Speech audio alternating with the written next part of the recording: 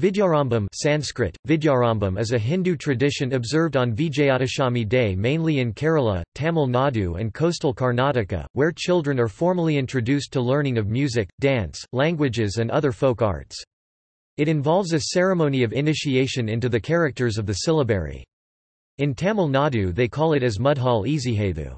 In Odisha it is known as Khadi Chuan Odia, Karichwam and is mainly celebrated on Ganesh Chaturthi and Vasant Panchami. The Vijayadashami day is the tenth and final day of the Navratri celebrations, and is considered auspicious for beginning learning in any field. The process of learning and initiation on this day is also closely related to the Ayudha Puja ritual.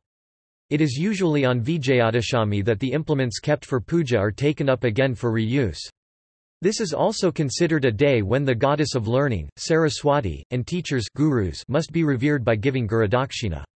This usually consists of a betel leaf, areca nut, along with a small token of money and a new piece of clothing, a dhoti or sari. The ceremony of Vidyarambham vidya means knowledge. Arambam means beginning for children is held in temples and in houses.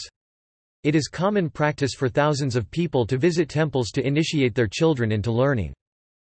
Initiation into the world of syllabary usually begins with the writing of the mantra 1, which means Initially, the mantra is written on sand or in a tray of rice grains by the child, under the supervision of a master who conducts the ceremony usually a priest or a guru.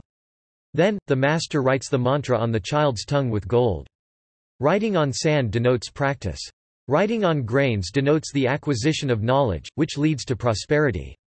Writing on the tongue with gold invokes the grace of the goddess of learning, by which one attains the wealth of true knowledge. The ritual also involves an invocation to Lord Ganapati for an auspicious start to the learning process.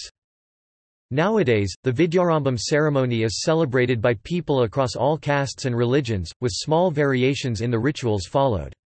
The ritual is especially seen in many churches across Kerala, apart from the temples. Topic. See also. Vijayadashami. Ayudha Puja. Kulu Dussehra Navratri. Topic. References. Topic. External links. Thiruvallakavu Sri Dharmasastha Temple